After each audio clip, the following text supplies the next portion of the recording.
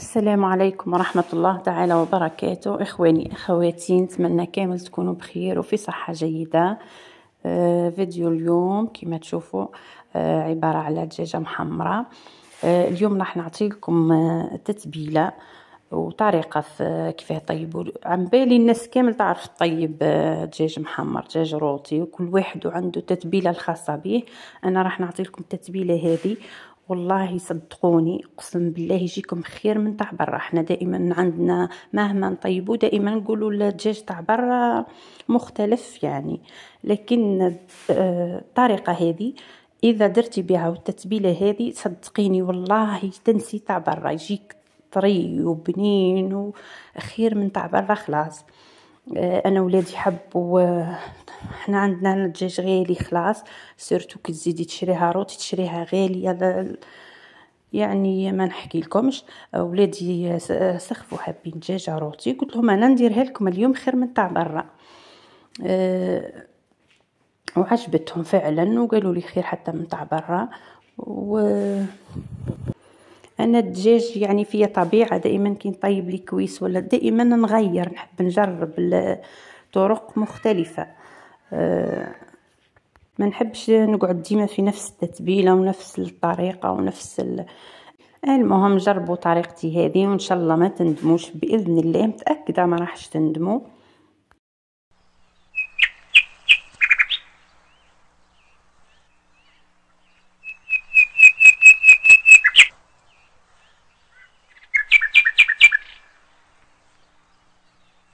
كيما تشوفوا هنا عندي دجاجة حبيت نديرها كي تاع برا ما نحيت لها والو كيما تشوفوا فقط نظفتها مليح عاودتها شحال من مرة بالملح وغسلتها بالخل وخليت الجناح خليت خليتها البلايص هذه كيما تشوفوا آه البلاصة هذه اللي وريت لكم فيها دائما تجي فيها جلدة هكا رقيقة خلاص صفرة نظفتها ونحيتها مليح نظفتها من اللور هكا مليح نحيت لها داك المسران وذاك بصح خليتها حبيتهم يحسوها إنها من برا.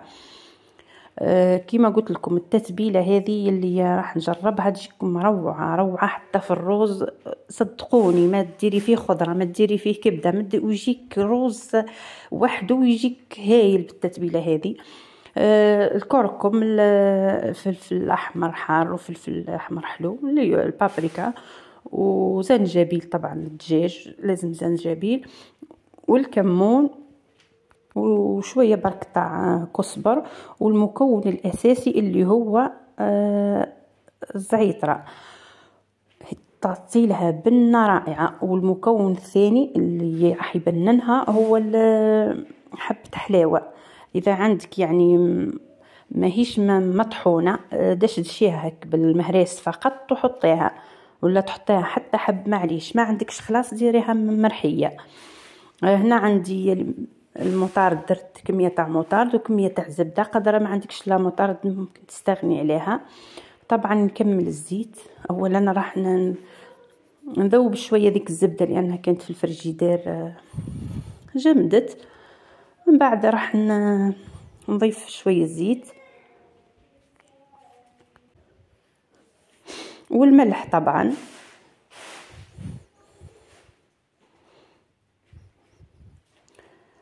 ذوبك الزبدة كامل معك التوابل معك الفحات وراح نطلي الدجاجة كامل ندهنها كامل ولازم تحت الجلدة يعني تطليها كامل مش غير الفوق لازم تخلي حتى بلاصة وديري تحت الجلدة كامل.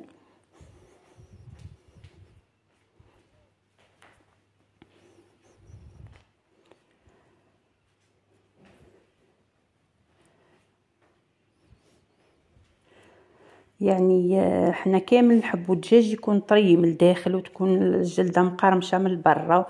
والطريقة هذه راح تعطيك يعني لل... النتيجة هذه. إنه تكون طايبة خلاص ذايبة ومن فوق تلقي تلقيها محمرة و... ومقرمشة هذيك الجلدة. كيما تشوفوا راني ندخل لها في التوابل في البلايص كامل.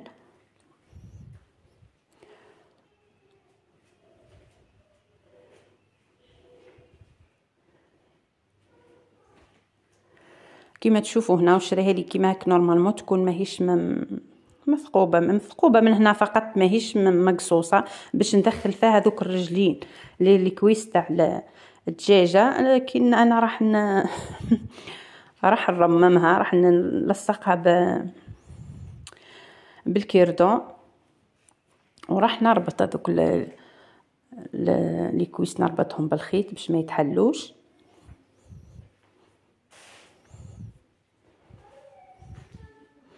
المهم يعني تنظف فيها مليح بما أنك ما نحيتيش هذاك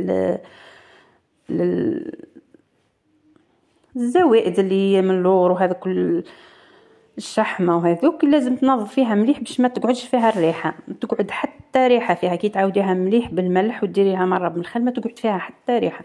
هنا الرز كمية قليلة حسب الدجاجة.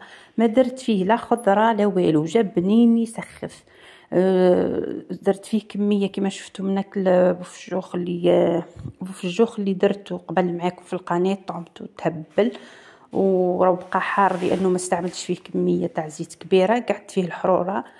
أه قاوية. على ذلك على بها راني درت كمية قليلة. وكما تعرفوا أفضل تتبيلة تاع الدجاج كي تخلطي معاه الكبدة تاع الدجاج مع الروز.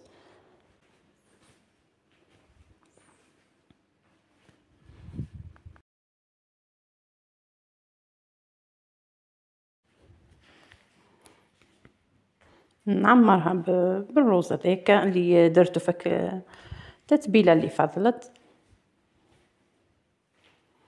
وهنا راح نربط الرجلين هذوك ونحاول نقفلها ب بالكردون باش ما باش ما تحلش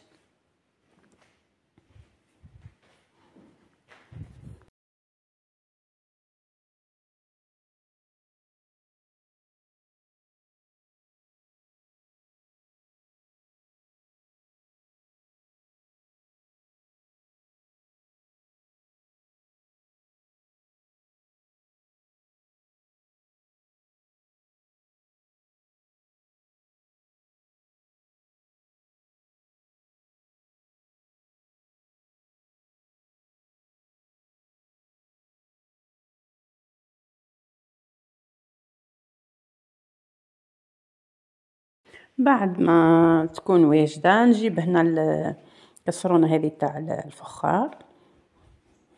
حبيت نطيبو في هذه باش يطيب يعني يطيب مليح. تعرفوا حاجة الفخار ديما طيب الحاجة أفضل من هنا راح ن...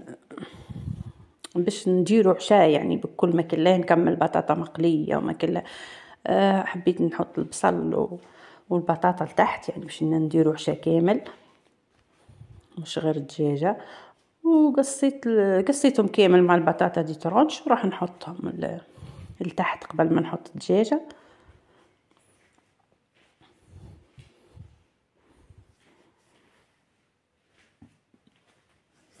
نملح هنا لأني كي قصيتهم ما ملحتش.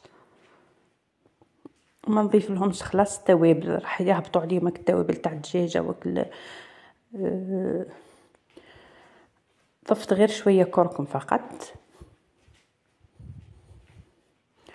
وندخلها في نغطيها بابي سيلوفين وبابي كويسون. أه بابي ألومنيوم.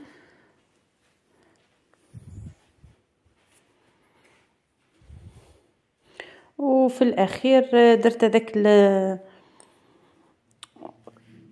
هذاك الإكليل اللي وريته لكم في الأول. ما درتوش في التتبيلة بس حطيته في الأخير هكا حدا الدجاجة ونص حبة قارص عصرتها وحطيتها بكامل فاكل هنا نغطي ب بابي كويسون طبعا. بابي سيلوفان نغطيها حبيت نغطيها مليح يعني باش طيب من الداخل لأنه كبيرة يتبان برك في الفيديو راهي دجاجه صغيرة لكن راهي دجاجه كبيرة. وبما أنه بابي ألومنيوم مش صحي طبعا لازم دائما نديرو تحت بابي كويسون. نحاول نغلقهم مليح. وراني درت بعد الخطوة هذه درت ربطتها هكا بخيط هكا رقيق. ربطت باش ما يتنفسش يعني باش تطيب لي في ساعة وتطيب مليح. ما وريت لكمش الخطوة هذه. سما الكسرونة دورت عليها هكا خيط رقيق فوق papier aluminium باش يحكم بلاصتو. وندخلها في ال cuisinière يعني ما تكونش شكل قاويه خلاص وما تكونش ناقصة. هنا راهي كيما تشوفوا ذايبه طايبة من الداخل من يعني هذه النتيجة اللي نحوسوا عليها. وطلقت الزيت تاعها وكليدام والبطاطا والبصل طلقوا الماء تاعهم. ولت عندي صوص كمية كبيرة. نقصت منها شوي. وراح نرجع الدجاجة درك تتحمر.